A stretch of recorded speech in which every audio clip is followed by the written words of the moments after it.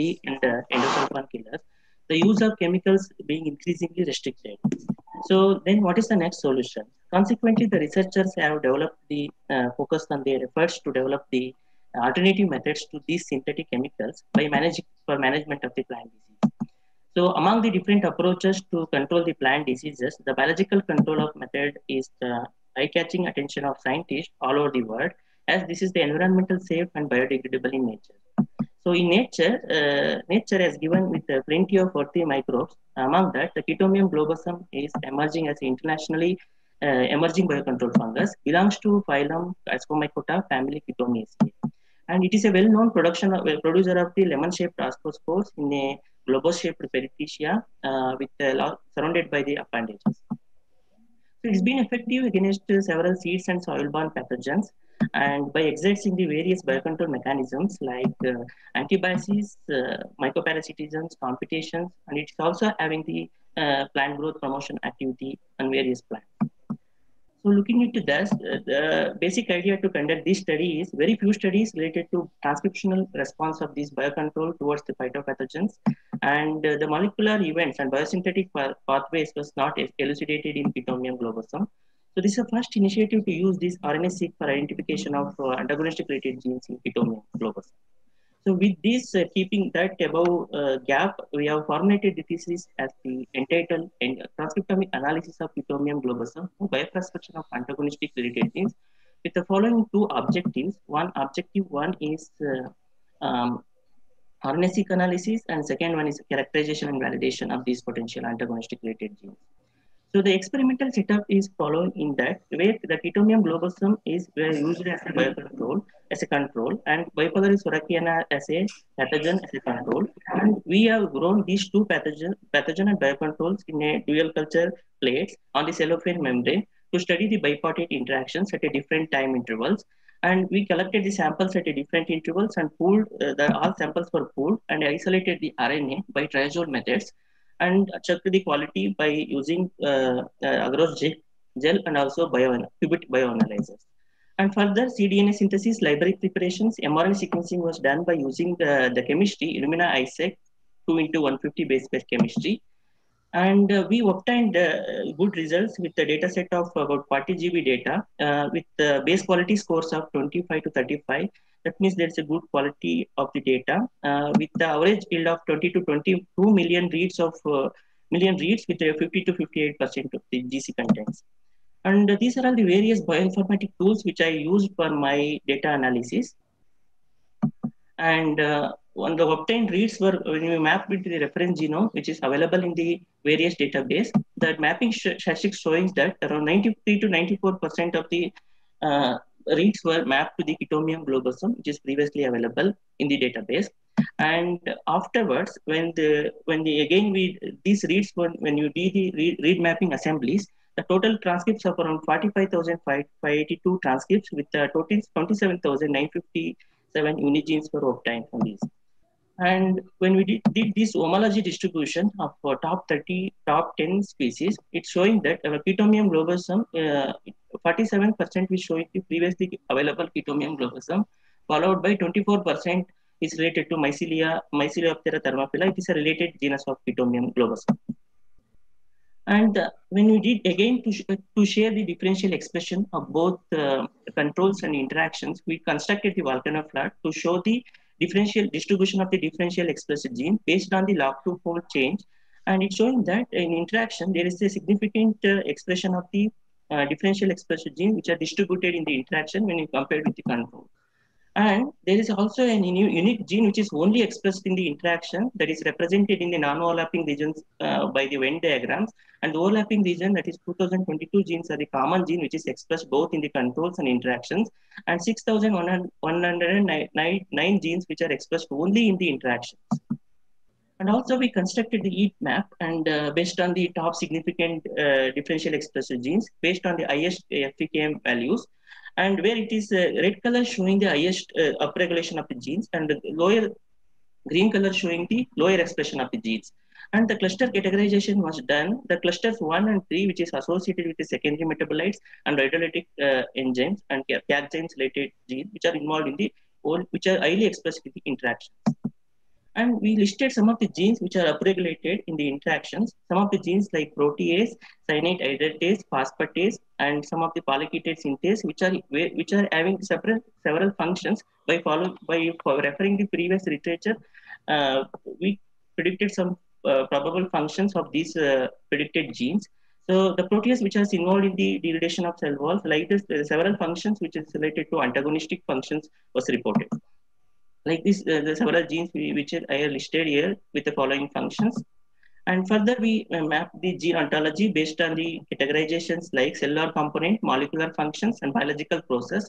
Under molecular function the 45% of the genes were involved in the catalytic activity the two uh, related to enzymatic activities. And around 29% of the genes were involved in the metabolic process and the biological process and to know the uh, biochemical functions of the particular genes, we assign the biochemical pathways by following by referring the KEGG database. And the top 10 KEGG database we were listed. The intra in the interaction, the number of the genes which are associated with the metabolic pathways were significantly increased around 1,662 when compared with the control of around 744. Like this, the number of the genes which are associated with the metabolic pathways, biosynthesis of secondary metabolites, biosynthesis of antibiotics were significantly increased in the interaction when compared with the control. And further, to comprehensively to know the biocontrol mechanism of uh, Chaetomium globosum, we filtered the differential expressed genes based on the uh, categorization. We did categorizations like genes involved in the cell wall degradations like glycolyc hydroxylase and beta glucosidase, beta um, uh, then aminopeptidase, uh, like cellulase domains. These were the genes which are involved in the cell wall degradations, like alkalides, triterpenoids, terpene cyclase, and uh, some methyl polymethylase, which are involved in the biosynthesis of secondary metabolites. These polyketide synthase, NRPS, which are involved in the antibiotic biosynthesis genes. Like this, we listed the in a different categorization to comprehensively uh, know the mechanism of biocontrol uh, globosum. And we also assign the pathways of particular genes uh, by MapMan. And uh, the, showing that the blue color represents the upregulations that is involved in the like shikimate pathways, phenyl propanate pathways, which are situate in the interactions. It is represented in the blue color, which is represented in blue color represents uh, upregulations. Like simple phenolics, latates, phenyl propanate, shikimate pathway, malonate pathways were upregulated, and like along with that, some of the uh, transcriptional factors, G proteins, some organelles also upregulated in the interactions. And in order to know the reliability of the RNA-seq data, we did uh, uh, real, real-time PCR analysis uh, by selecting some of the selected putative random selected genes and it was showing that the all genes which is we tested significantly increased, uh, expressed and upregulated in the interactions. That means they are completely agreement with the RNA-seq data of the, those which is selected, we evaluated. And also we, we also identify the some of the uh, SSRs which is identified from the transcriptomic sequence of Chaetomium. This SSR which is derived from the EST, EST express sequence tags this allows the precise and effective selection of the biocontrol strains, and also it can be it is routinely used for the genetic diversity analysis. So we investigated around 8,485 total SSR from the uh, from the 5,909 with the differentially distributed transcriptomic sequence. And of that, in our Chaetomium globosum, the motif of mononucleotides followed by the trinucleotides were more dominant uh, compared to other type of uh, compared to six motifs. There are six motifs in that mononucleotides and followed by trinucleotides were more dominant. And also the, the number of repeats of varies from five to eight. That that type of repeat repeat motifs were more dominant in the Chaetomium uh, when compared with other type of motifs. And we assigned these SSR containing these unit genes were classified based on the functions and uh, we categorized into metabolics and cellular process, the metabolic related proteins uh, that SSRs were more of unigenes were associated with these type of SSRs in the Chaetomium globosums. And also the frequency, which I already mentioned, there are 51% was mononucleotides uh, and 36% with trinucleotides with the number of uh, that repeats was more of uh, 10 repeats and uh, followed by the deca and uh, pentanucleotides repeats were more common in the Chaetomium and we just selected the some of the uh, selected 15 markers and tested against the available Chaetomium globosum which is available in our laboratory and to check the we did and diversity analysis by extracting the genomic DNA and followed by the selection of the prime, uh, 50 primers, analyze the polymorphism and uh, followed by the, we did uh, uh, uh cluster analysis by UPGMA methods. And we obtained different differential binding patterns in the all isolates with the selected markers. And these are different differential, differential binding patterns. And we also scored and the scoring patterns and the is varies from 200 to 400 base pairs. And with the poly, we also analyze the diversity analysis by using the poly information PIC values. The PIC value is varies from 0.5 to 0.6 to 0.7. There is high diversity within the isolates and total number of uh, 74 alleles were detected from 22 markers, 22 SSR markers. And when we constructed the dendrogram, that is differentiate, it is constructed and clustered in three different groups. Cluster 1 consisting of CG1 and CG7. Cluster 3 is consisting of CG8 and 9 and the remaining are distributed in the cluster 2 and, and conclude that this is there is a diversity within the uh, within the uh, species C1 which is derived from the same location. And in, all, in also we also we also did the secondary metabolite extraction for further uh, understanding of these Chaetomium uh, globosum uh, mechanisms by using GCMS and LCMS analysis. And first we go, grown the fungus in the uh, PDA, PDB treated with the both control and uh, crude extracts of uh, bipolaris. And we extracted the crude metabolites by using upper rotor and the crude extracts were sent for GCMS and LCMS analysis. And the list of volatile compounds which we identified from the GCMS is the these are the compounds, and among that, the interaction, the translimonic acid, dodecine, tetradecyne, cyclohexadines, eptacosanols, these are already having the antifungal properties, which is being expressed in the only in the interactions of our Chaetomium, globosums, and bipolaris. And these compounds, these chemicals were, when we did the chemical groups, the more of alkene groups followed by the alcohol groups, and, and, similarly, in the LCMS analysis, we also identify some tentative compounds, which is derived from the in, in interactions.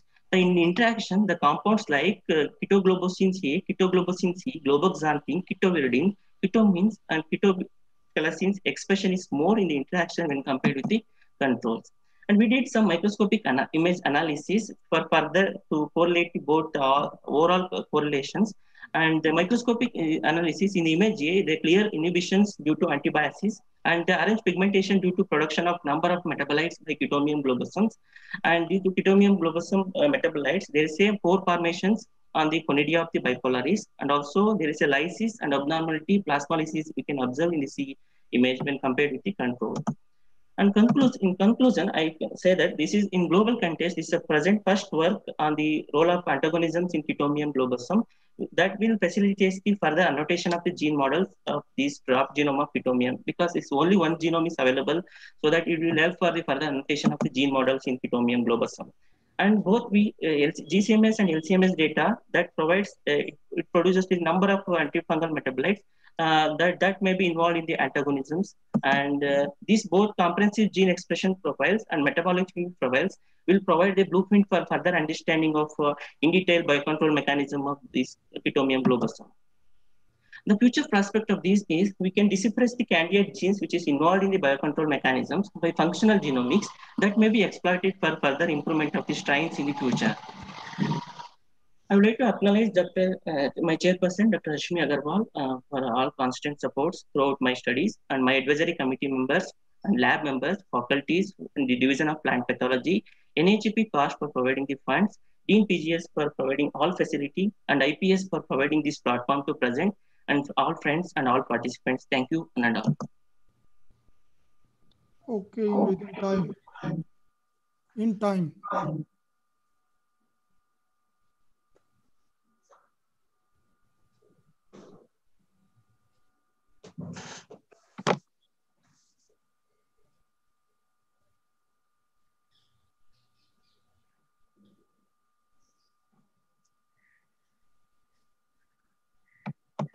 Doctor Baranwal आप mute हो unmute करो। ओ sorry. So so thank you Darshan for nice presentation and wish you all the best okay so next presentation will be by dr pooja kumari pooja you are ready Yes, sir. Just I will Okay. share my slide. आपका bill सारे दूर में दूर दूर में आपका bill सारे settle हो गया हाँ सर कभी करने नहीं है ना नहीं सर कोई पेंडिंग बात में सारे सारे Can I start? Yes, sure. Go ahead.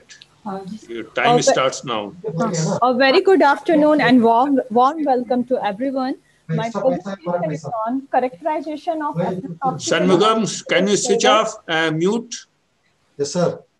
Uh, mute yourself. Uh, carry so, on. Uh, sir, in the introduction and background uh, information, so when we look into the worldwide scenario of the molds and mycotoxin, we all know this mycotoxin are very toxic secondary metabolites produced by the fungus. And there are different group of fungus involved for the mycotoxin development. These are aspergillus, fusarium, penicillium, and particularly Aspergillus flavus for the aflatoxin B1, B2, and Aspergillus parasiticus produces aflatoxin B1, B2, G1, G2. And rest deoxynivalenol and fumonisin B1 and ochratoxins are produced by the Fusarium and Penicillium. So when I particularly focus on my host crop, that is a maize. So in maize, maize for maize cob rot, there are four different microorganisms are associated. These are Aspergillus, Fusarium, Penicillium, and Diplodia. And these photographs represent their growth on the cob. So in particular, Aspergillus flavus uh, requires the temperature for, uh, for 10 to 40 degrees Celsius and the relative humidity of 14 to 30 percent for the better growth and the aflatoxin development. This is the here is the uh, go here is the growth of Aspergillus on the maize cob and this is on the kernels. So when we look back into the history part, in 5000 year ago, the report was seen in the China and in, in the year 1913, this molecule was considered as a toxin molecule and it, it has capability to develop aflatoxicosis due to consumption of contaminated maize. And in England, there was a report of turkey X disease due to the consumption of aflatoxic, toxigenic uh, grains. And particularly in Indian scenario, when we look into the Indian uh, context, the many tribal people of this uh, Rajasthan and Gujarat region were died due to the consumption of aflatoxin contaminated maize kernels. So now we understood aflatoxin is very important because it is one of the hidden killer molecule, hidden killer poisonous molecule, which not only affect the poultry or cattle, but also human and one of the potent carcinogen, which is capable to develop a liver cancer in, human, in humans and the reduced cattle growth as well as poultry hypersensitive response. So when till, till today's date, actually, there are 16 closely related aflatoxin molecules has been reported. But among these 16, there are four, aflatoxin B1, B2, G1, and G2. These, these four are the potent human carcinogen according to International Agency for Research on the Cancer. And among these four, again, aflatoxin B1 molecule, AFB1, is the most important human carcinogenic agent, which in fact particularly targets for the immune disorder in the infants and the children. So, uh, so the permissible limit for particularly for the maize grain, according to Food and Drug Administration and World Health Organization, it is 20 nanogram per gram of the sample. So, so based on all these and the, the importance and the fascination of this work, it, has been found that in Indian context, for the particular Aspergillus flavus, molecular diversity from different agroclimatic zone need to be well understood. And apart from this, what is the genetic diversity and the critical factor involved for the toxin de development? It is again a gap. And regarding the host part, the mechanism involved for the resistance is, is not well understood. So these are the major research gaps. Based on this, this the work has been designed with the objective of characterization of aflatoxigenic aspergillus flavus associated with maize and aflatoxin resistance gene, and with the three objectives identification of maize cob associated aspergillus flavus of different agroclimatic zones of India. Then the samples were collected from the representative five agroclimatic zones because based on maize cultivation, India is demarcated into five different agroclimatic zones of northern Hindi zone, northwest plain zone, northeastern plain zone, peninsular zone, and central western uh, region of our country. And these samples have been uh, taken. And the second objective is the genetic background study of this, this fungus that is aflatoxigenic gene profiling and the quantification of the toxin molecule. And the third is particularly for the host component that is a screening of corn variety for the aflatoxin resistance and characterization of aflatoxin resistance gene. So regarding the first objective, as I mentioned previously, from different uh, regions, agroclimatic zone sample were collected and the fungus purification and isolation was done. So likewise, 20, uh, 20 fungal isolates was collected from different agroclimatic zones. This is the table showing the macroscopic characteristics and microscopic characters of this fungus.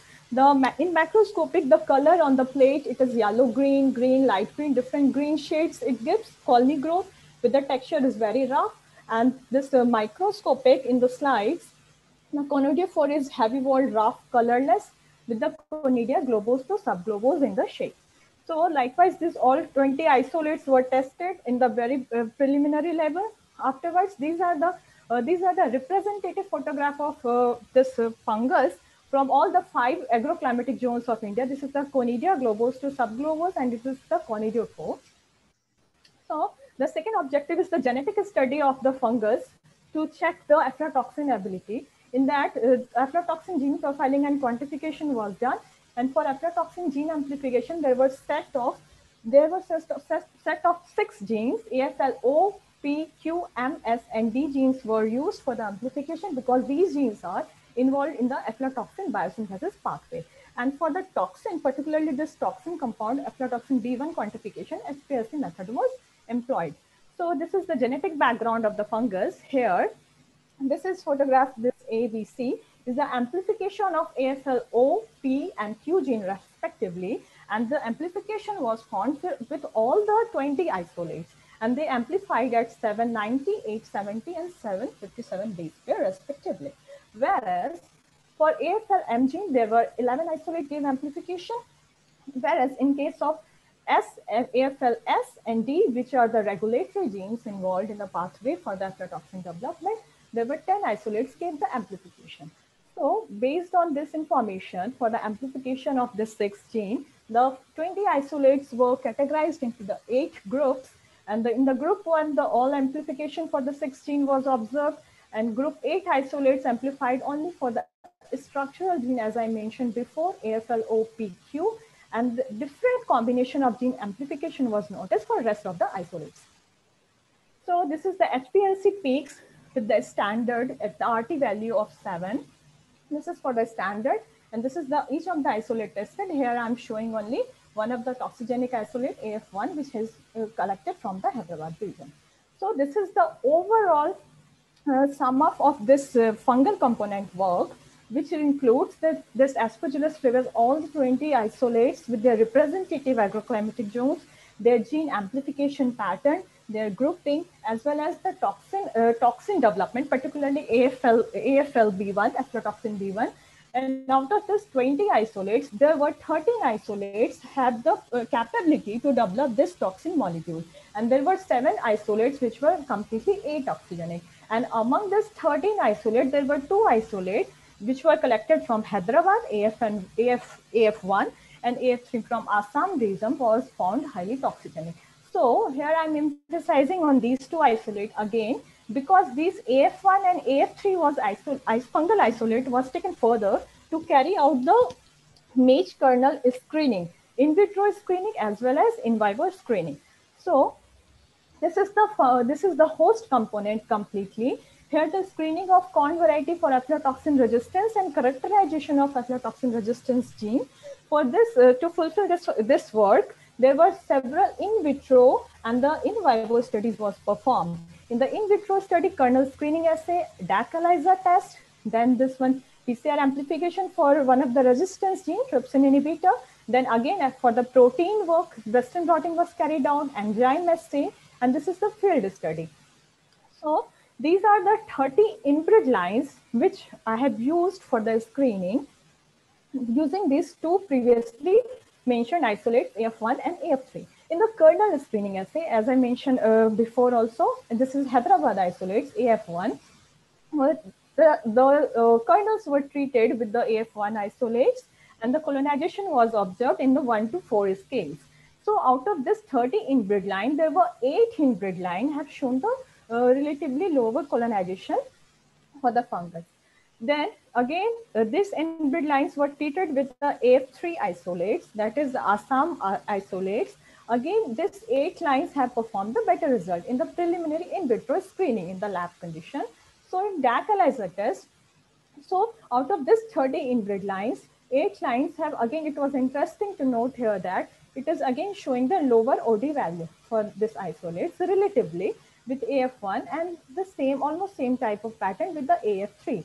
So after testing for the ELISA, these isolates were uh, apart from this uh, inbred lines, other rest other inbred lines was also uh, DNA was isolated, isolated, and TI gene presence was noticed.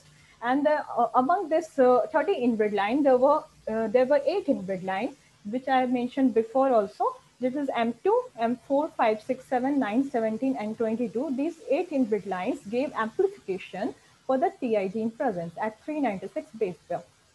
So this is the transcriptional uh, transcriptional study. So again, for the translation part, for the protein were isolated from this eight inbred line kernels. This is the SDS SDS page showing the complete protein profile for this eight inbred lines. M2, 4, 5, 6, 7, 9, 17, and 22. And this is the Western blot uh, picture, which is clearly showing the presence of 14 kilodalton trypsin inhibitor protein, 14 kilodalton trypsin inhibitor protein presence in eight of the isolates. And this is the negative control with M24, which has the heavy infestation of Aspergillus flavus. So this is again the enzyme assay. In the enzyme assay, assay experiment again, these eight inbred lines have the given the better uh, enzyme activity of 42, around 140 enzyme activity units have the good expression level. So here the in vitro screening ends so out of this 30 inbred lines, the eight lines have given the best result in the, uh, in the, in the lab level of screening. So these eight lines were tested in the field with two different inoculation methods. That is whorl inoculation as well as needle, needle suspension spore inoculation. In the whorl inoculation, the 49 days plant was chosen to place the inoculum in the whorl part, whereas in the needle method, method of inoculation, the injection was given with the suspension of uh, 9 into 10 to the power 7 CFU per ml at the primary ear stage. So it is again interesting to note that although in the in the laboratory out of 30 inbred line, 8 line were giving the best result, having the very lower fungal colonization and particularly I should say the aflatoxin B1 buildup but in the field study, out of this eight inbred lines, there were three lines, that is M2, which having the some grains are purple in color, M2, M4, and M5 have shown the development of symptoms. And this is M24 having the susceptible check. And this symptom uh, was developed with the help of this injection method. So this five inbred, line was found better in the uh, in vitro screening as well as in vivo screening in the field. So I would like to conclude that. So regarding the fungal part, there were 20 isolates have been used for the aflatoxigenic ability to check the test. So among these 20 isolates, the isolate collected from the Hyderabad region as well as Assam region, these two isolates was found more potential for the aflatoxin buildup, which has been validated and checked again using HPLC analysis. So these two isolates uh, are the highly toxigenic and among these inbred lines, there were 30 inbred lines. There were there were eight inbred lines, M2, M4, 5, 6, 7, 9, 17, and 22 have uh, presence of trypsin inhibitor gene as well as protein expression in the western blotting. And these lines... Two minutes left. Okay, sir. Huh? And these lines have given the best performance in the laboratory condition. Whereas this is very much interesting to note here. Are in, in vitro and in vivo screening for the kernels in, in, in vitro using kernel screening test, uh, DAC ELISA test, PCR amplification and Western blotting, as well as enzyme assay as well. So in vitro and in vivo screening, when we club both the screening uh, tools here, so there were only five inbred lines, that is M6, M7, M9, M17, and M22 have given the best performance, which has the good genetic background to resist aflatoxin B1 development by this fungus. And these lines are under the process of registration in ICAR NBPGR New Delhi. And based on this line of work, recently in Mate Genetics, uh, we got one project to carry out this line of work for the pre-breeding. So this material will be utilized for the betterment of farming community, particularly the maize going part of our country. So Still, there are many more work can be done since it is a very fascinating topic. We all know in very older olden periods.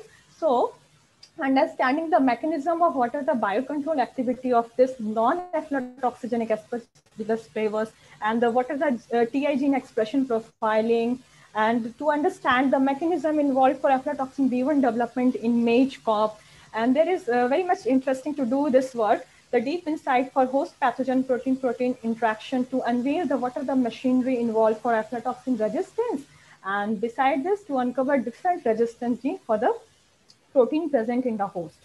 So I would like to acknowledge Director ICR NBPGR, Joint Director Research, Head and Professor Division of Plant Pathology, Head NBPGR, Scientist of IRI, NBPGR, uh, my senior juniors, lab mates, SRF. At the end, I would like to tell a little awareness of farming community will give healthy and sufficient food to all in this stomach. Thank you for your patience. Thank you, Pooja, again for finishing your presentation well in time. Eh? Thank you, so, sir. And uh, wish you all the best. Hmm? Thank you, sir. Okay, thank you. So we are moving to the next presentation by D. Raghunathan, who will speak uh, on understanding the role of glycine-rich protein of Nicotiana benthamiana in Gemini viral pathogenesis. So may I invite uh, Dr. Uh, Mr. Raghunathan? Yes, Sir. you can yeah. share the So- slide, right? Yeah. So my slide is visible. My screen is Yes, visible? yes. Yeah. Uh, go ahead. Your Yeah. time starts now. Okay. A very good afternoon for uh, the organizers, the panel members, and the co-participants. So I myself, uh, Raghunathan, I did my PhD under the guidance of Professor Supriya Chakrabarti at uh, Molecular Virology Laboratory, School of Life Sciences, JNU. So my topic is uh, understanding the role of uh, glycine-rich protein of uh, Nicotiana benthamiana in uh, germinal pathogenesis.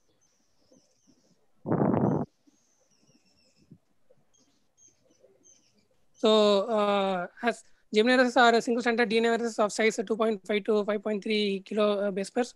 They are uh, they are in, encapsulated in thin icosahedral uh, particle like this, and they are transmitted by white flies. Uh, are important because they infect uh, food, fiber crops, and ornamental crops that are of economic importance.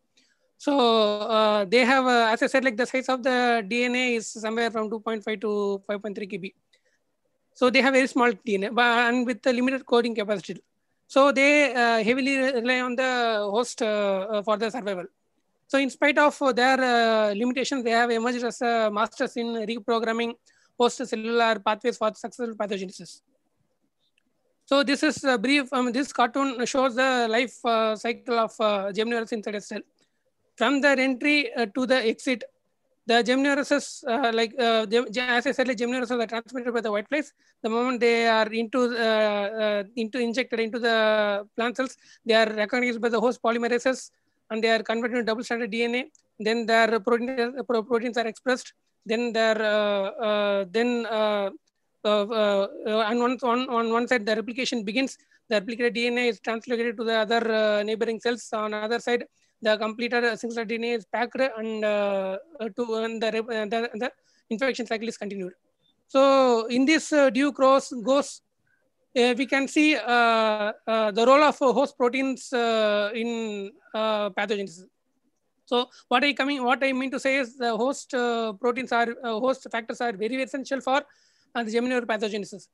Uh, in one aspect, the host factors they can be beneficial to the virus because without the host factors, uh, they cannot uh, virus cannot perform all these uh, processes. On other side, the same host factors they can also uh, work uh, defend the plants against the viruses.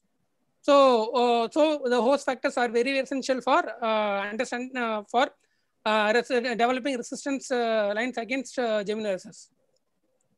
So the host factors that diverse Gemini, uh, glycine-rich proteins, as the name suggests, uh, they are uh, abundant in the amino acid glycine.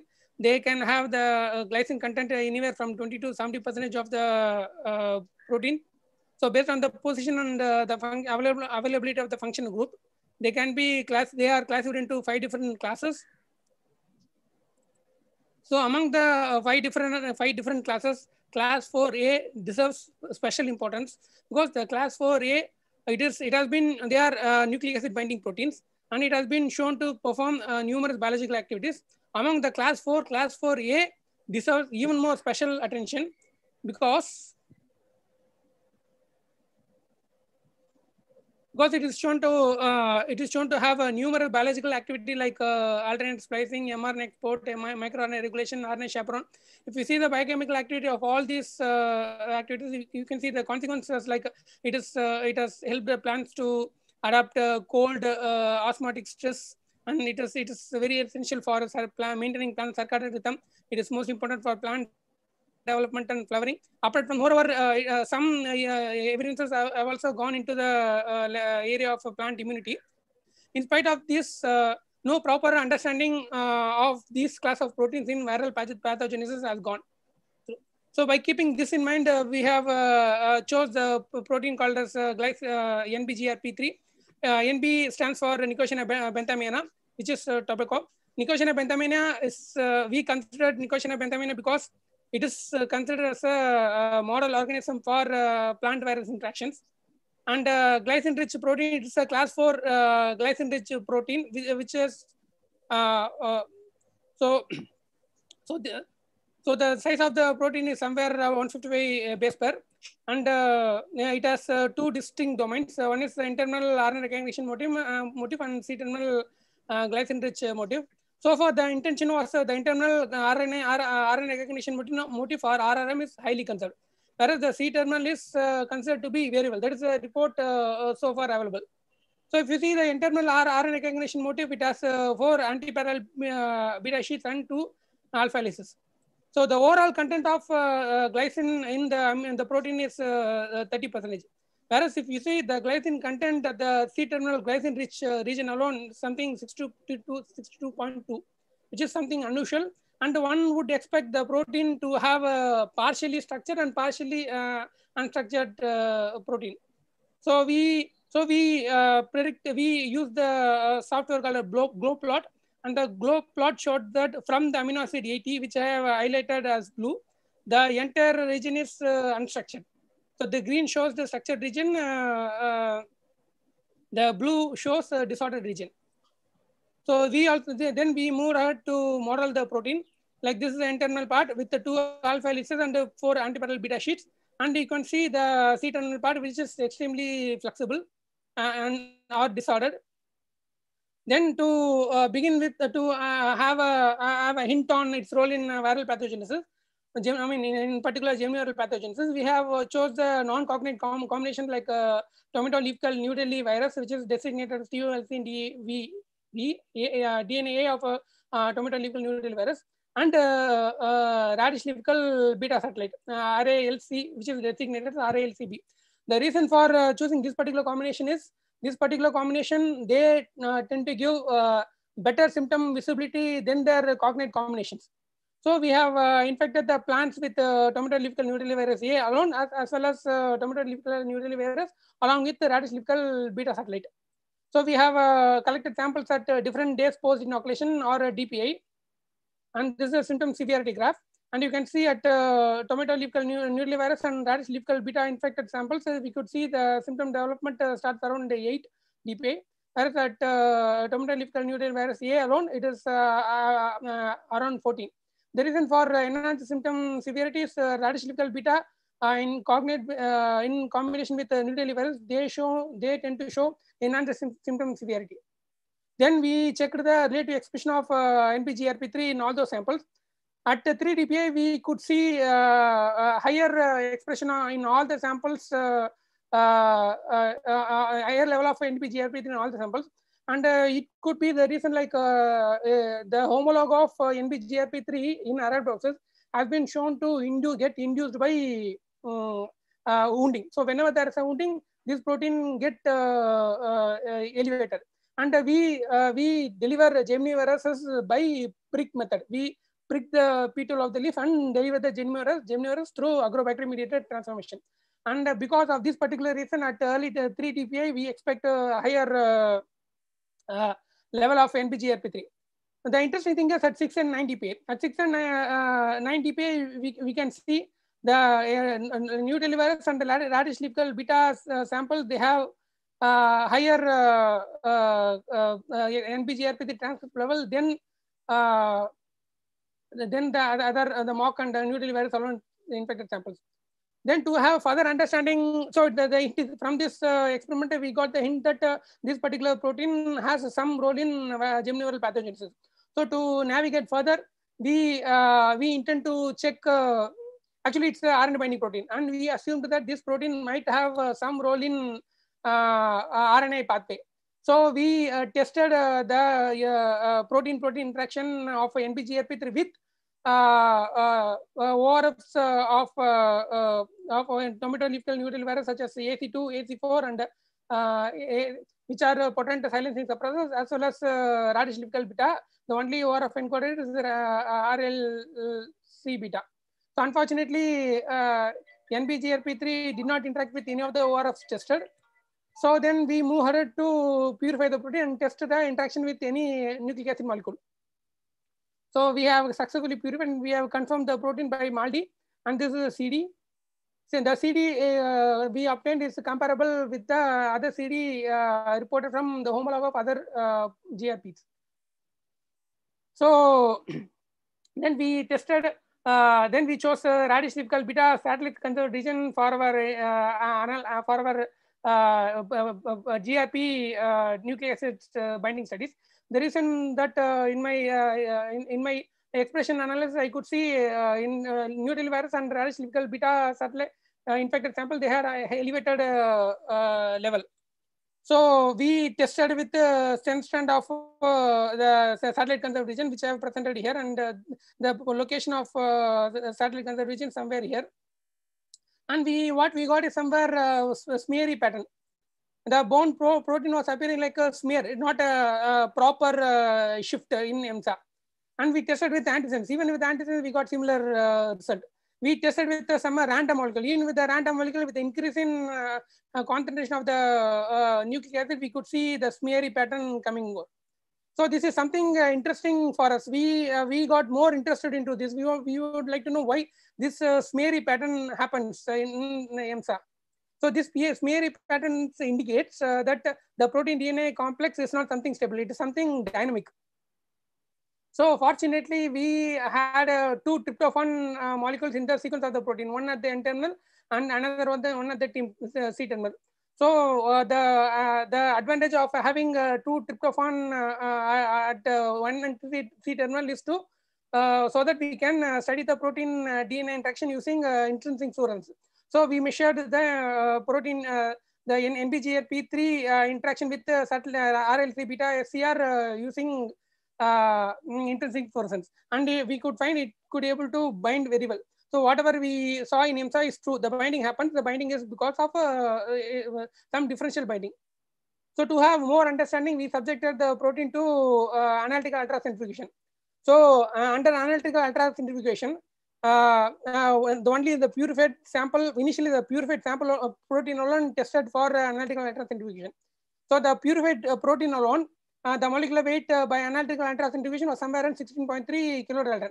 The molecular weight of protein is close to that. So from this, it is very clear that the protein is monomer in presence of uh, nucleic uh, in, in presence of uh, in in absence of nucleic acid or, or uh, just uh, protein alone. Whereas uh, we titrated the protein with a different concentration of DNA from 10 micromolar to 30 micromolar. And what we could see, we see the we during a titration experiment, we have kept the protein concentration constant, which is 30 micromolar whereas we titrate the we increase the concentration of uh, the ligand uh, DNA alone, and uh, we we have observed at lower concentration of ligand this is the mass. Whereas if you increase the co concentration exactly around 15 uh, micromolar, we could see the higher mass. And further, if you increase the co concentration of the ligand, and we could see that the, the mass in the analytical centrifugation is decreasing.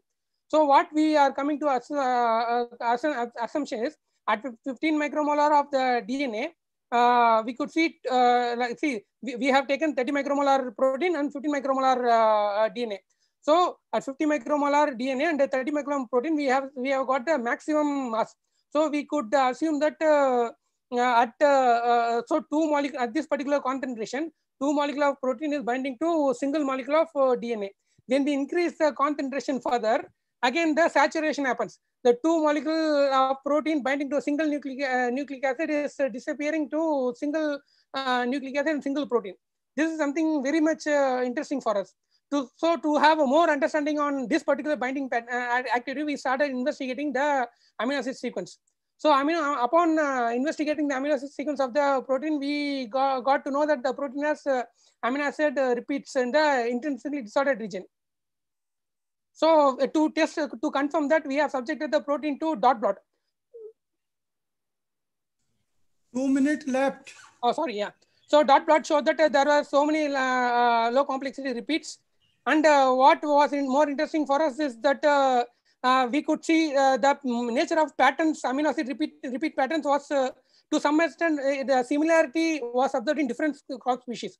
So we have take, taken the glycine-rich protein, uh, class 4A glycine-rich protein from different crop species, and we can see the C-terminal region has uh, some uh, similar similar pattern of amino acid repeats like uh, GGY, uh, GGG, RRE, RRD. It was something very interesting for us, and uh, and uh, another surprising thing was the C-terminal part was highly conserved in uh, the uh, glycine-rich protein of a, uh, within uh, of a species. So from this we got to know. Uh, so so far the intention is that uh, the C-terminal uh, of uh, the glycine-rich protein is highly highly variable. Whereas what we have observed is it is not so. It is like a highly conserved. So to have to know its function, so in nature this is true. So only a thing that is highly conserved, uh, only the thing that is functional will be conserved. So uh, if it is conserved, it should have function. What is the function? So we have generated a deletion construct of that particular region. We uh, system we intentionally re- remove the the repeat containing region which I highlighted in blue from the protein, and we have generated uh, deletion construct. We have uh, purified, and we have uh, uh, tested uh, tested the protein uh, with, uh, truncated protein uh, with uh, uh, their uh, nucleic acid binding ability. To our surprise, we could see the truncated protein could not interact with any of the nucleic acid tested. Chairman, sir, Yeah. time is over. Okay. Yeah, that's I'm done. So just a, just a मतलब second. time हो गया पंद्रह minute Okay, sir. So, like uh, the uh, uh, well, just just a final word I would like to say. So, to have a precise role of uh, NPGRP3 in Gemini pathogens, we have generated uh, virus into gene silencing construct, and we could see in gene silencing uh, plants the DNA had uh, viral DNA was higher. So, this shows that uh, when uh, this uh, protein is having some role in uh, in defending the plants against the virus. So that's all. This is my summary. Like we could see. So we could see the transcript level of NPGRP3 was elevated, and we could see that uh, NPGRP doesn't interact any of the DNA, but with the DNA of the virus. And uh, we could see uh, interesting results with analytical entrance centrifugation. So to dig more into the results, we could see the presence of uh, amino acid repeats in uh, pro- uh, the protein. And the amino acid repeats, uh, if you delete the repeat, the protein has lo- lost its uh, nucleic acid binding uh, ability. And VAG's experiment uh, uh, denoted that uh, silencing of this uh, protein uh, uh, resulted in higher viral DNA accumulation. So that's it. Thank you. Thank you, Dr. Raghunathan. Uh, uh, wish you all the best. Thank you, sir. Okay. Uh, the next presenter will be Harita Mohan. And Dr. Yadav, I will request you to chair this uh, presentation because I have some urgent work. I will be back in 15 20 minutes. Okay? Yes, sir, doctor साहब हाँ आप आप chair कर लीजिए हरिता मोहन का और मैं तब तक आता हूँ 15 ठीक है ठीक है डॉक्टर साहब ठीक है so you can start Haritha Yes, sir.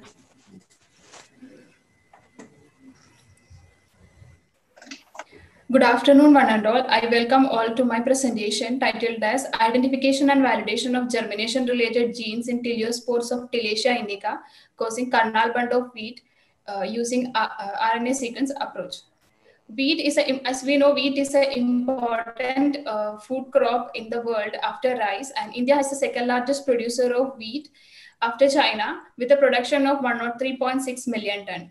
As, as many as 25 species are recognized in the world, three species, namely Triticum, Istivum, Durum, Dicoccum, are commercially grown in India. Uttar Pradesh, Punjab, Haryana, Madhya Pradesh, Rajasthan, Bihar, Maharashtra, Gujarat contribute total of 99.5% percentage of the total wheat production in the country. Coming to the major wheat diseases, it include leaf rust, stripe rust, spot blotch, loose mud, kernel bund, and stem rust. When we come to kernel bund of wheat, which is caused by Tilletia indica, belongs to the division Basidiomycota family Tillechiaceae. As we know, India can become the major exporter of uh, wheat in the international market as country has a surplus stock of wheat and still has more potential to generate. But wheat grain export in the uh, in India is facing the problem of trade barriers such as export and movement of consignment to other countries under sanitary and phytosanitary agreement due to the prevalence of bund. So the wheat importing countries have imposed a strict quarantine measure and insist a zero tolerance limit because the bund can be uh, easily transferred to next countries uh, through seeds or uh, kernel is prevalent in only few countries. Coming to the major symptoms associated with bund of wheat, only few grains uh, will be infected. Only few grains uh, in the few earhead will be infected and only a part of the grain will be turned into a sooty mass of the bund spore. Uh, not only that, the disease will produce dark color fishy smell of the infected kernel and only the germ end of the kernel will show symptom, but occasionally the entire kernel will be appear as diseased. Coming to the research gap related to kernel bund, till now wheat varieties with the durable kernel bund resistance have not, in, not yet developed and the resistant gene also have not yet identified in wheat against kernel bund. Until now the teleospore germination mechanism in Tilletia indica also have not yet clearly understood. Also any effector R-gene combination is also not yet known for Tilletia indica wheat interaction. So the uh, keeping the research gap of uh, Teleospore germination mechanism is not yet understood. The hypothesis has been proposed as the transcriptome data of the germinating and dormant teleospore reveals many upregulated and downregulated genes. So the genes which are upregulated in the germinating teleospores are supposed to be related to the process of germination and genes which are downregulated in the germinating teleospore which are also present in the dormant teleospores are supposed to be related to the process of dormancy. So the object, first objective is to identify the germination and dormancy related genes in Tilletia indica through transcriptomics data. And second objective is to know the relative expression of candidate genes involved in teleospore germination of Tilletia indica. Coming to the first objective, uh, bioinformatic analysis of generated transcriptome data uh, using Illumina Next Sequence 500. The Unigene has been predicted uh, using CD HIT EST version 4.6. From the Unigene, coding sequence prediction has been carried out using transcoder version 2.0. To the coding sequence produced, a set of bioinformatics tools has been applied like BLASTX for functional annotation, CAS for pathway analysis, BLAST2Go for gene ontology, DESeq for differential gene expression. So uh, from the Unigene uh, sequence prediction, the total number of Unigenes uh, were found to be 16,575 and most of the Unigenes were found to be in between 1,000 and 2,000 bases. And coming to the coding sequence prediction of the teleospore, total number of coding sequence were found to be 21,596 and most of them were found to be between 1,000 and 2,000 bases. Around uh, 8,619 uh, CDS were found to be in between uh, that range. Coming to the CDS summary for uh, germinating and dormant teleospore, total of 21,505 CDS were found to be present in the germinating teleospore and around 9,771 uh, CDS were found to be uh, in dormant teleospore. Out of them, 9,618 CDS were found to be common between both germinating and dormant teleospore, and 91 CDS were found to be unique to dormant teleospore, and 11,825 uh, CDS were unique to germinating teleospore. Coming to the functional annotation of the uh, coding sequences, it, uh, it has suggested around 14,784 CDS were found in annotation using BLASTX, whereas 6,812 CDS were showing uh, were no significant blast hits. The majority of the hits were found to be against the fungi Arthrochocystis flocculosa, which is a wood smut fungi. Coming to the gene ontology analysis of the coding sequences using BLAST2Go, uh, gene ontology will uh, use to classify the functions of the predicted CDS into three major domain, biological process, molecular function, and cellular component. So from the biological process, uh, maximum of 35 CDS were found to be associated with the cellular metabolic process and 33 were associated with the organic substance metabolism. And to the cellular component, uh, maximum of 711 and 663 CDS were associated with the intracellular and intracellular part, and around 440 were associated with the intracellular organelle, and 302 were associated with the membrane-bound organelle. Coming to the molecular functions of the predicted CDS, around 241 uh, CDS were found to be associated with the organic acid cycling, and around 216 were associated with the heterocyclic compound binding activity. Coming to the KET pathway analysis of the predicted CDS, uh, it found that uh, majority of the pathways were uh, highest number of pathways were found to be associated with the germinating teleospore than the uh, dormant teleospore uh, highest number of around 431 CDS were associated with the translation in the germinating teleospore. Around 340 were associated with the transport and catabolism in the germinating teleospore. Around 283 CDS were associated with the carbohydrate metabolism, and around 326 were associated with signal transduction. Coming to the differential gene expression analysis, uh, which was performed on the coding sequences common between dormant and germinating teleospore uh, by employing negative binomial distribution model using DE-seq analysis. There were 9,680 uh, CDS were common between both uh, germinating and dormant teleospore. In that, 686 were found to be upregulated and 114 were found to be downregulated. From 686, 30 genes has been selected. From 114 downregulated gene, 8 gene has been selected for the relative expression analysis. And these are the upregulated genes, the uh, 30 genes that are selected, and these are the 8 downregulated genes that are selected. Uh, for the differential, uh, for the relative expression analysis of the candidate gene involved in the uh, teleospore germination of Telesia indica, uh, two samples of 2015 and 2018 has been selected, surface sterilized and kept for germination. And these are the primer sequences for the 38 genes which are selected, uh, synthesized using uh, NCBI Primer Plus software. And then uh, for individual uh, samples, RNA isolation followed by cDNA synthesis and followed by qPCR analysis has been carried out. For the From the qPCR analysis, uh, this is the expression analysis of upregulated gene in the germinating spores of 2015 and 2018. Here we can see all, all the genes are having are highly upregulated with a very good fold change of 7, uh, 11 and all. Here we can see GTPase, uh, genes like GTPase domain, ribosomal RNA, uh, 60S acidic ribosome, oxoacid transferase, histone H2A like, etc. And these are also uh, the genes which are highly expressed in a germinating teleospore. These are the uh, expression analysis of the downregulated genes in the germinate, germinating teleospore. All the uh, eight genes which are downregulated in the germinating teleospore showed a very less expression uh, with a fold change of uh, less than one. Uh, it indicated it has a very less expression in the germinating teleospores of both 2015 and 2018 and the expression analysis of downregulated gene in the dormant spores of Telesia indica. But these downregulated genes were showed a higher expression in the uh, dormant teleospores. So, and these are the expression analysis of the upregulated genes in the dormant spores of Telesia indica.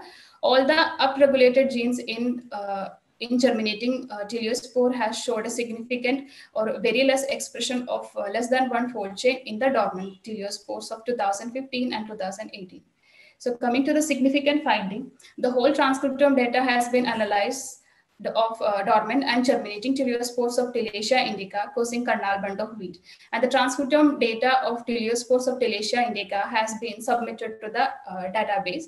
And the predicted unigenes were 16,575 in dormant and germinating teleospore, and the unigene containing bases between 1,000 and 2,000 were highest. And the total number of coding sequences were 21,596 having CDS length of 2895535 base and uh, highest number of CDS uh, of 21,505 were found to be in germinating teleospores of Tilletia indica as compared to the dormant teleospore, that is 971. 9,680 coding sequences were found to be common between both dormant and germinating teleospore, and 11,825 CDS were found to be in germinating teleospore, while only 91 were unique in dormant teleospore. And the gene ontology of the uh, genes were revealed in terms of cellular component, molecular function, and biological process. Maximum number of pathways were involved in the germinating teleospore like transcription, translation, and carbohydrate metabolic path metabolism pathways.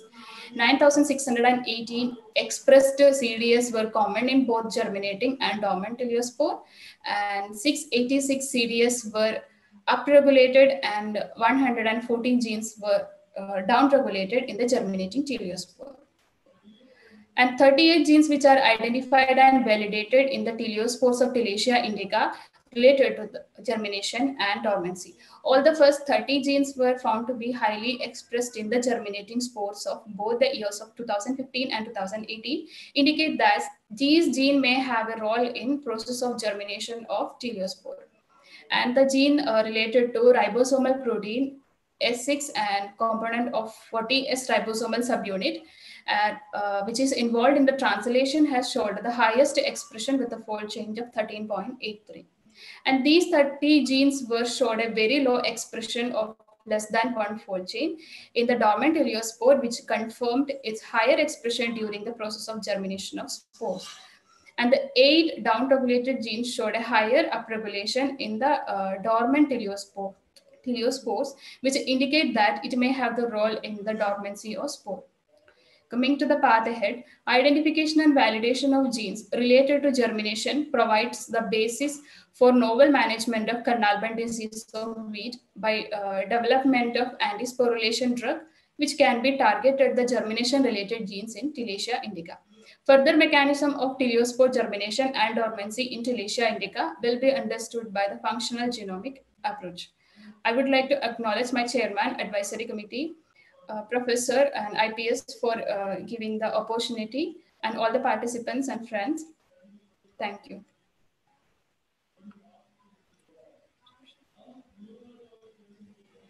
all, Aritha. So now unshare your slide. Sir. Best of all. Now next is uh, Akshay Kumar. Yes, sir. Mm, Please share your slide.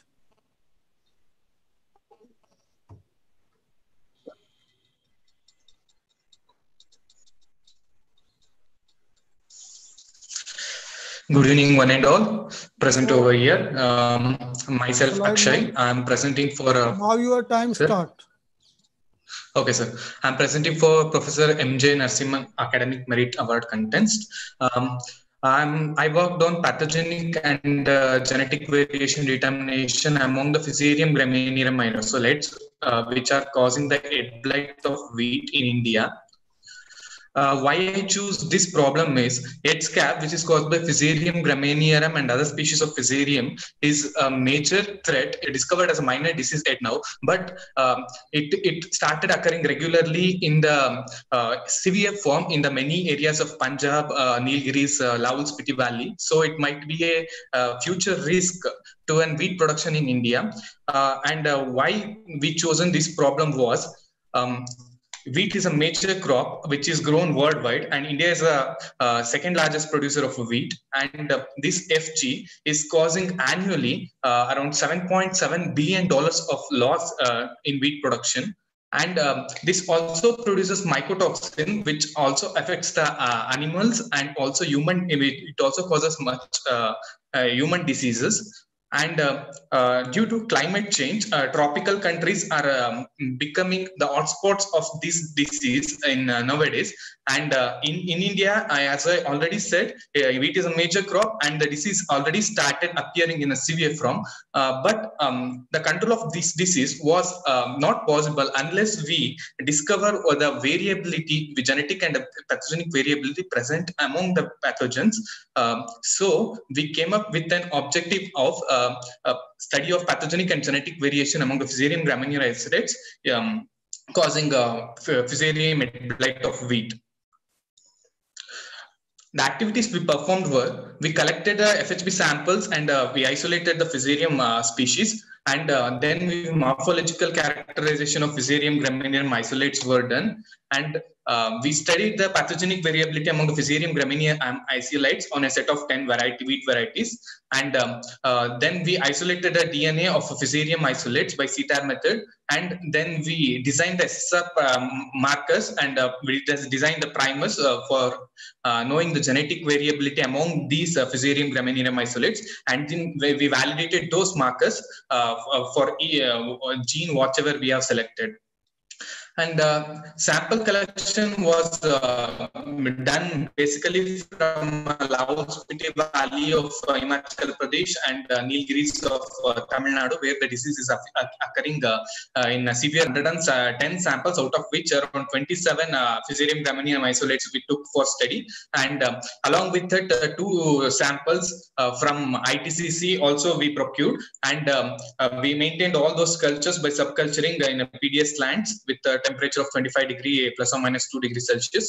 And uh, coming to morphology, morphological characterization, we studied the my, mycelial growth rate and uh, mycelial color, their pigmentation, uh, uh, and also uh, for spore in, for spore inducing, we um, cultured the fungus on the carnation leaf media, and uh, we analyzed the size of the spores also. But mm, uh, results, uh, what we obtained is the color of mycelia varied uh, very significantly from light pink to brownish pink.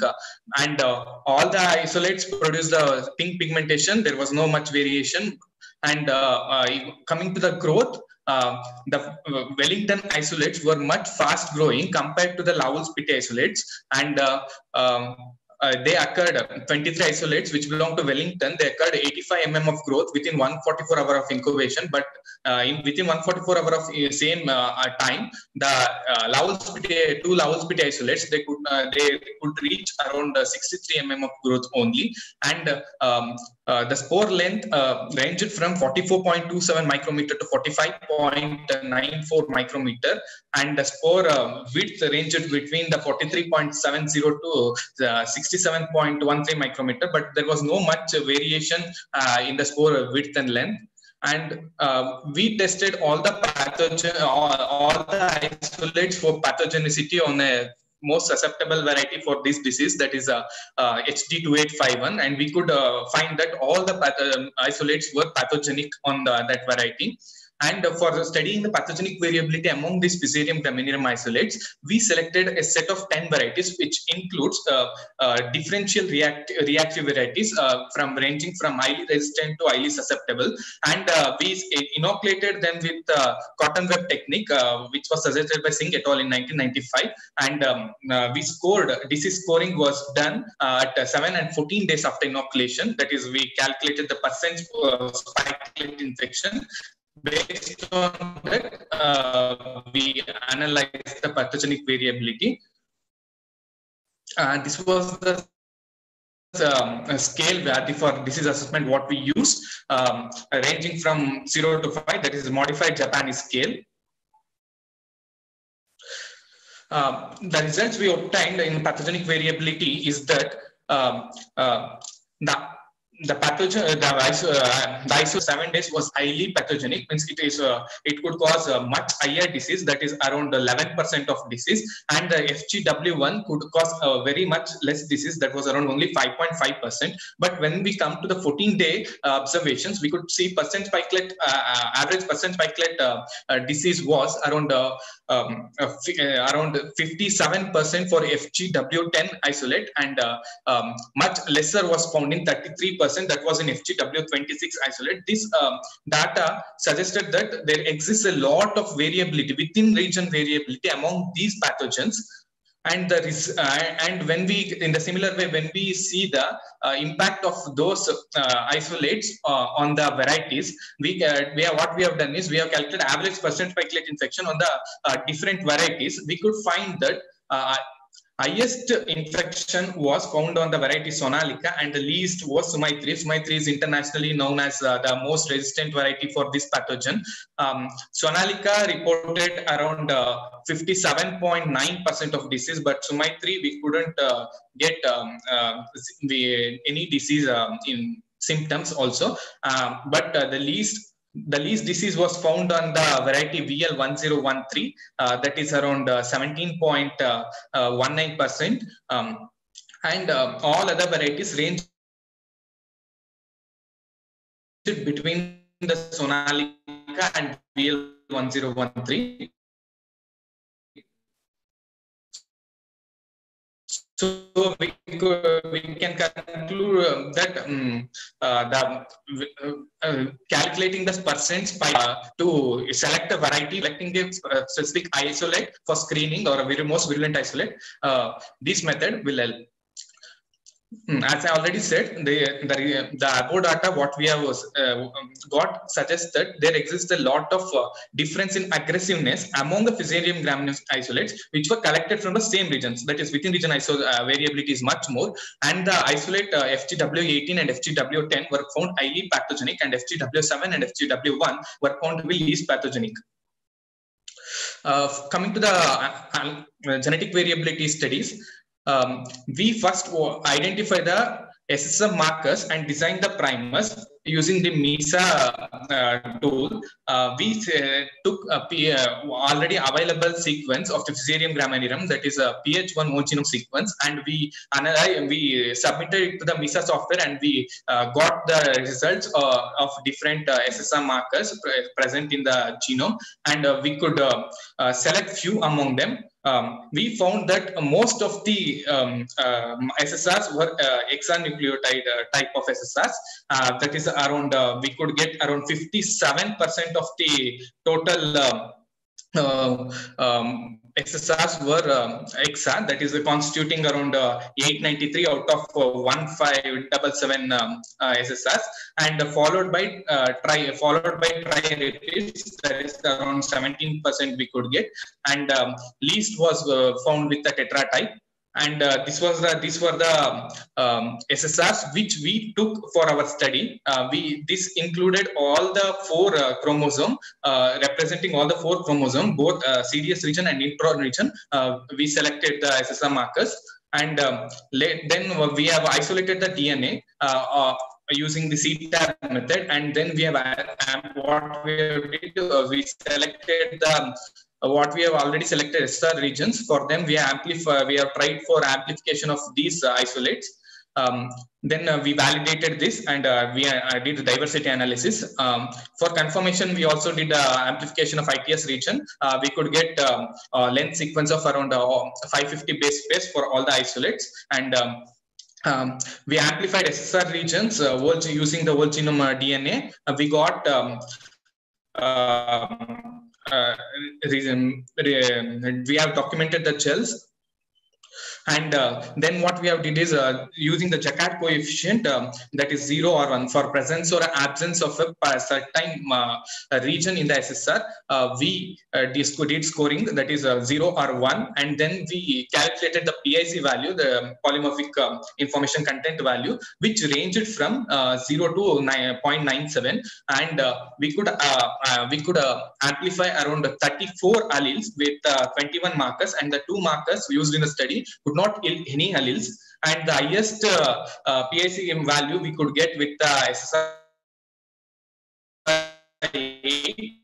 uh, with the PIC of a 0.97 And uh, later, what we did is um, we constructed a dendrogram using uh, NTSys software. The regions uh, were uh, grouped under the two clades, that is A and B. Um, and we couldn't find any geographical um, um correlation between the isolates and their uh, genetic variability. And also, we couldn't um, properly find the relationship between the uh, pathogenic and genetic variability. Um, uh, the A clade included the one isolate from Wellington that is FGW27 and other from the Lahaul Spiti that is FGL2 and the B clade uh, was subgrouped uh, into many clades.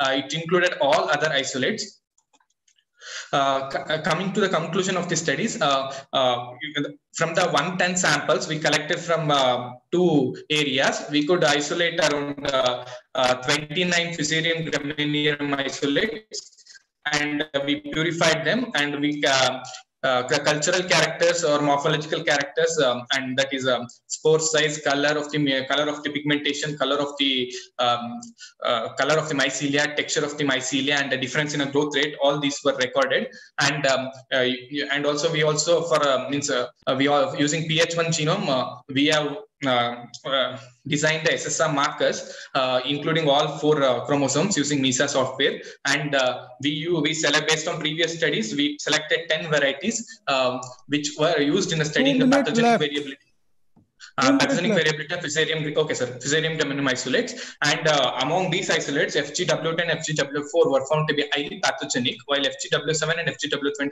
were found to be least pathogenic uh, based on the percent average spikelet infection data. And polymorphic ba eh, bands were uh, scored uh, using Jaccard coefficient. We could amplify 34 alleles, and polymorphic information content ranged from 0 to 0.9 and uh, dendrogram uh, resulted what we have got divided the all the isolates into two different clades uh, but uh, we couldn't find any correlation between the both the data uh, future perspective is that um, as all these Fusarium uh, graminearum isolates, um, uh, what we have collected, we couldn't find any correlation. We should, we are planning for characterizing this for toxin chemotypes, and we are uh, using the most virulent pathotype. We are uh, planning for uh, screening the indigenous varieties as very less resistant sources is available in this for this pathogen indigenously. we are planning for screening of those um, mm, indigenous cultivars um, I would like to acknowledge uh, chairman and uh, all the members of my advisory committee and my lab members and uh, head of the division of plant pathology and uh, our professor um, uh, division of plant pathology and all the members, seniors, juniors, and my all friends of division of plant pathology and ICR for PG providing PG fellowship and uh, IPS form for providing an opportunity to participate in this contest. Thank you.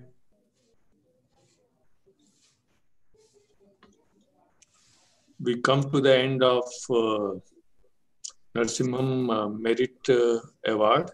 Yes, sir. And all the six participants eh, have made presentation and all have done excellent job. Now it is for the jury to decide uh, who are going to the next stage. And uh, till then, uh, uh uh, we can wait. What is the result uh, going to be announced? And meanwhile we can take up the last presentation which is for aps travel grant. Okay? So that presentation has to be made by mr jagmohan. Uh, he is there already. Uh, he'll be speaking on uh, decipher, deciphering the Chaetomium globosum induced signaling network in tomato against early blight. So since he's the only speaker for, uh, or he is the only candidate for APS IPS Travel Award, so we can uh, listen him and then jury member can decide for his uh, candidature. So Jagmohan, can you share your slide? Is he here? Jagmohan. Yes, sir. I'm here, sir. Is there? Yes, sir. But okay. So you can finish in maybe 15 minutes time is given. Okay. Yes, sir. So start your presentation.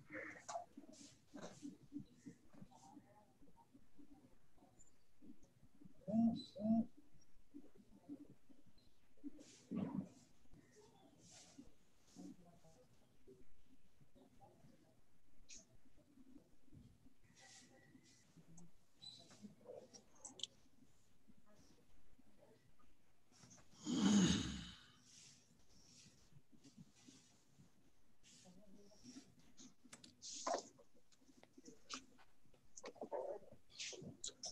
Sir, are the slides visible?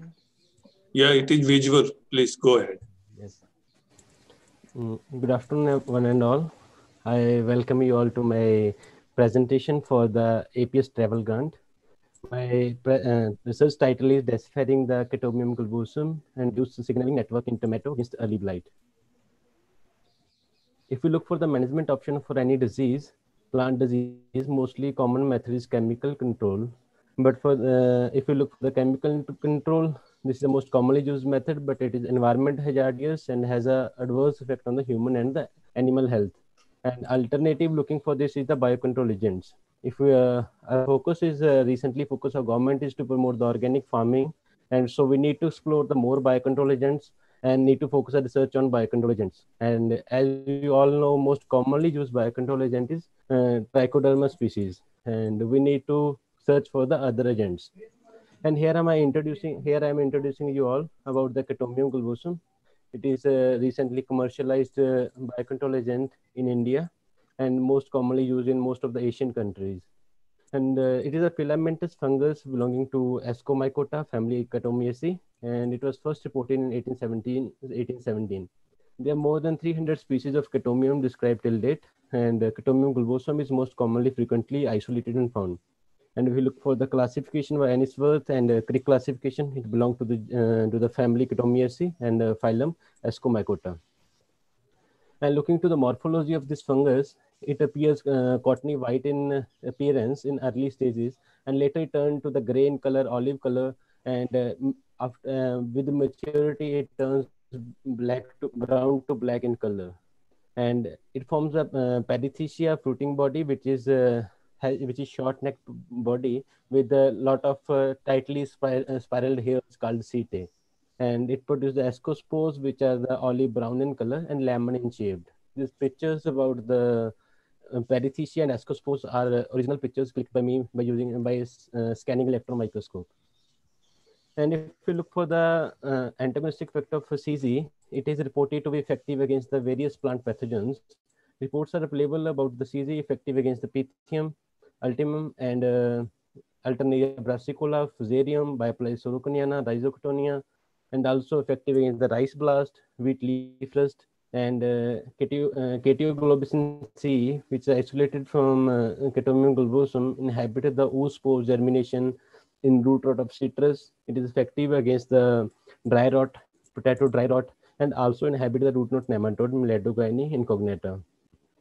If we look into the any biocontrol agent, it has a four common mechanism of uh, biocontrol. These are four are among mycoparasitism, antibiosis, competition, and induced defense. Mycoparasitism and uh, antibiosis is most commonly studied and well-studied component of CG, Chaetomium globosum, and a few reports are available about the induced defense. So our focus is to study the induced defense, and uh, we are targeting the induced resistance or induced defense by CG. And uh, but uh, I am coming to in coming to the induced defense. Induced defense is uh, is increase or enhance in the expression of natural defense pathways or natural defense mechanism of the plant by a range of factors.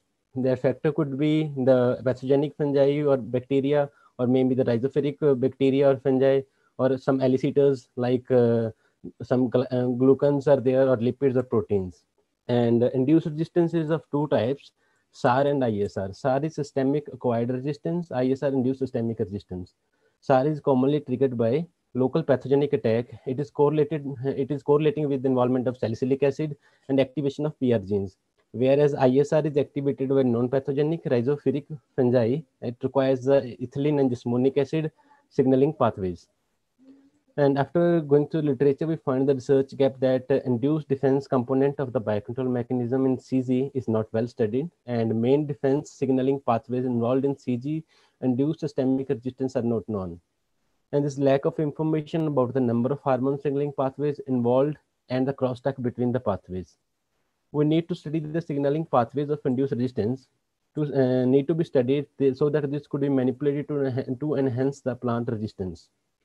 And taking these research gaps into consideration, we designed a, a- a research title as Deciphering the Chaetomium globosum Induced Signaling Network in Tomato Against Early Blight. And these are the objectives under the- my uh, research title. First objective is to evaluate the effect of uh, CG-induced defense on the severity of early blight disease. Then uh, second objective is transcriptome profiling of uh, uh, sorry, transcriptome profiling of tomato to identify the defense pathways associated with the systemic resistance induced by CG. And then validation of transcriptomic data by monitoring the expression of upregulated genes for uh, for monic acid pathway, salicylic acid pathway, ethylene pathways by using qPCR. To coming to first objective for evaluation of CG induced defense uh, effect on the disease severity, early blight, and we cultured the Alternaria solani and uh, Chaetomium globosum cultures are maintained in PDA media. And tomato plants of variety Pusa rohini were grown and maintained in polyhouse. And Chaetomium globosum was applied as a seed treatment as well as a spore suspension in various combinations and uh, after 24 hours of spore suspension, plants were inoculated with Alternaria solani. And this scoring was done at different time intervals at 7 days, 14 days, and 21 days after inoculation. And plants were scored uh, using 0 to 5 scale. And uh, you can, uh, observe, uh, can look at the symptoms produced by the Alternaria solani. And after evaluation, uh, after disease scoring, and first is in this we have taken control plant which is mock inoculated then is applied in different combinations as suspension as a single suspension double suspension as a booster dose then only seed treatment and then with seed treatment plus uh, suspension different combinations. And this disease scoring after uh, of uh, alternate uh, early blight was done at seven days after inoculation then 14 days and 21 days. And here is uh, this table represents the percentage disease index and mean percentage disease index and area under disease progress curve.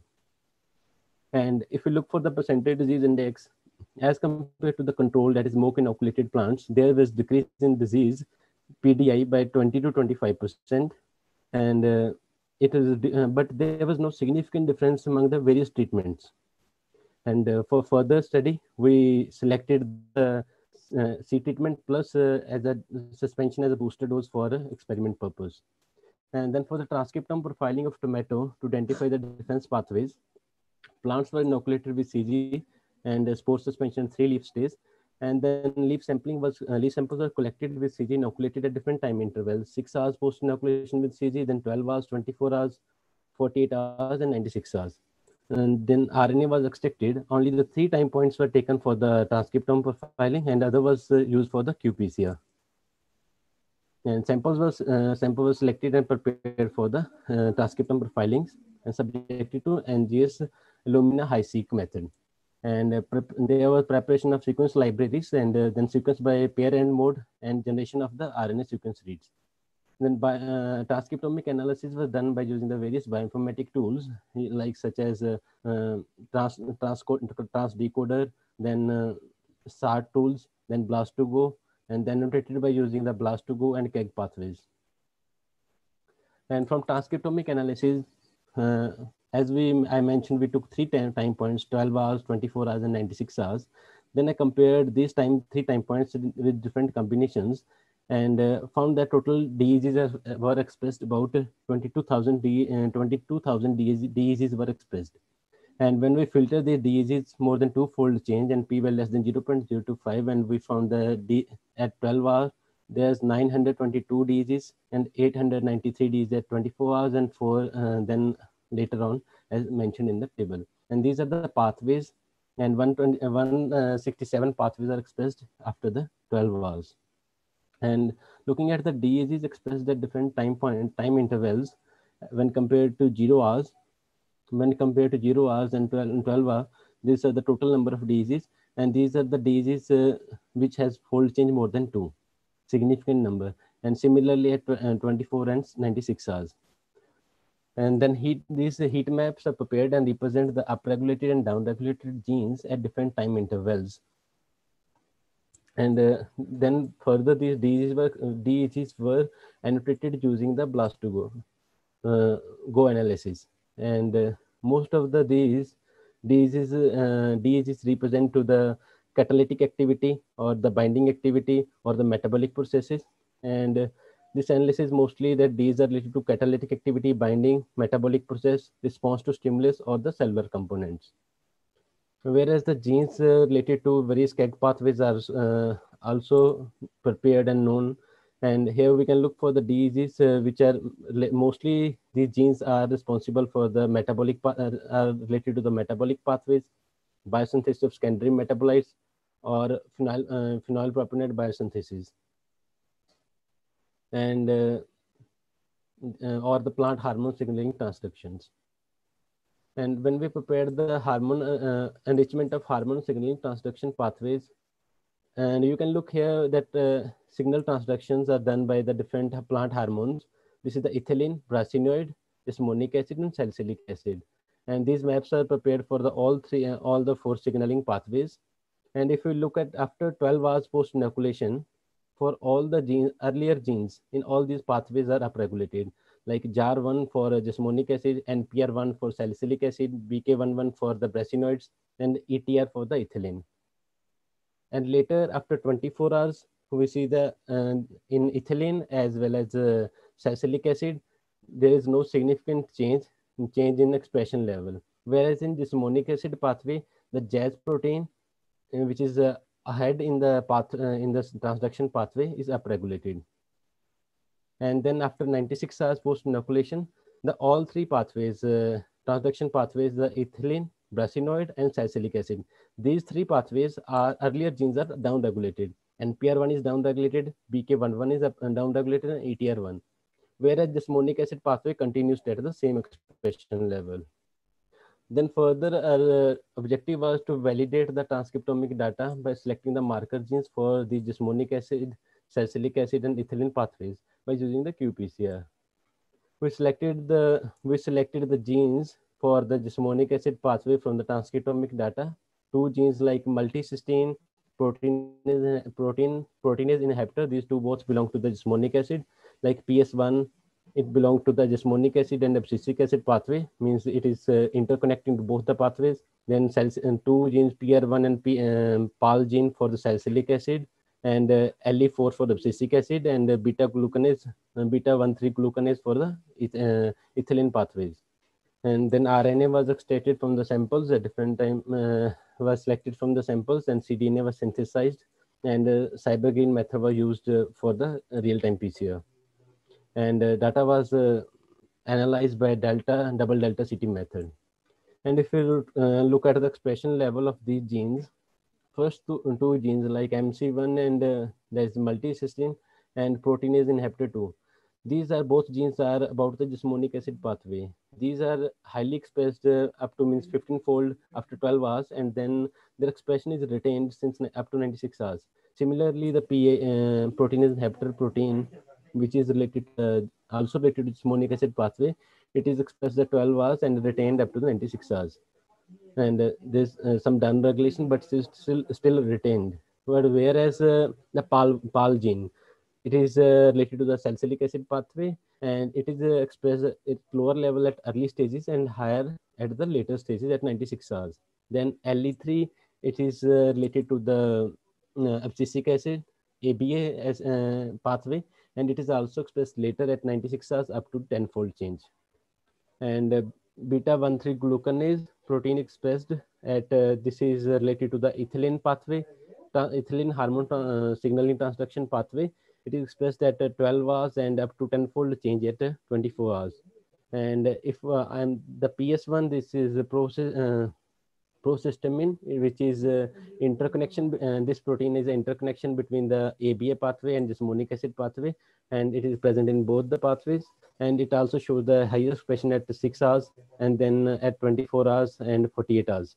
And it, it is maximum expressed up to the 15 fold and if we look for the all these genes um, which are expressed at uh, and also belong to different transduction uh, hormone signaling pathways and uh, all the four pathways are being expressed uh, being expressed there and it reveals that the resistance induced by CZ in tomato involve both SAR and ISR uh, hormone signaling transduction pathways. And uh, coming to the summary of my work, the systemic resistance induced by CZ in tomato decreases the disease severity by 30 to 35 percent. And, uh, and, then transcriptomic data reveals that more than 900 DEGs with two, more than two-fold change are expressed at uh, 12 hours. And uh, 904 at uh, 24 hours and 433 at 96 hours. And similarly, the KEGG, path, uh, KEGG enrichment pathway indicate that DEGs or uh, genes mostly belong to the metabolic pathway, biosynthesis of secondary metabolites, plant hormone, signal transduction, and phenylpropanoid biosynthesis pathways. And uh, GO analysis reveals the DEGs are belonging to the catalytic activity, binding activity, metabolic processes, and the response to the stimulus, cell, uh, cellular processes, defense response, and superoxide dismutase activity. All hormone signaling transduction pathways such as jasmonic acid, salicylic acid, ethylene, ABA are expressed in tomato, but at different time intervals after inoculation with CZ and the relative expression analysis of marker genes uh, marker genes by qPCR reveals that jasmonic acid pathway uh, jasmonic acid signaling transduction pathways are activated at 12 hours and retained up to 96 hours whereas the salicylic acid pathway are highly activated at the 96 hours and it indicate the study it indicates that the resistance induced by CZ in tomato involves both ISR and SAR hormone signaling transduction pathways. Mm, I'm here. I acknowledge my chairperson, Dr. Rashmi Aggarwal, for continuous support and consistent and guide, uh, her consistent guidance, and my advisory committee, Dr. Vishnu Maya Vashal, and Dr. M.S. Saharan, Dr. Amal Solanki, Dr. Zakir Hussain. And I'm highly thankful to my lab mates of uh, Fungal Molecular Biology Lab. Thank you. Thank you, one and all. Thank you, Jagmohan, for uh, completing the task in time. Hmm? Yes. So with this, uh, we have come to the end of uh, this session. And uh, I must thank my co-chair, Dr. M.S. Yadav and reporter, Dr. Amalendu Ghosh and, and Srinivasa for conducting this session uh, very timely. I hope uh, they have noted, the reporters have noted if any points are to be required to be noted. And uh, uh, now I pass on the baton to MS Yadav if he wants to say something at the end of the session. Respected, respected Chairman, you have well conducted the session and we are highly thankful to you that you have very well organized conducted this session. And I am also uh, thankful to our uh, these rapporteur also and all the best for the contestant because this uh, APS person is asked for the uh, candidate maximum candidate for this APS table grant and best of all to all the contestant for Professor M.J. Narasimhan Merit Academic Award contest. So best of all to all. So this is from my side. So Amrita, you want to you. say yes, something at yes, the uh, end? Thank you, thank you, everybody. So I uh, now I request you all to join uh, the valedictory function with the previous link. That is the first link uh, we joined for the inaugural program. And there, the announcement will be made. Yes, uh, the announcement will be made in the valedictory function only. Okay, thank you, thank you. Please join. Huh?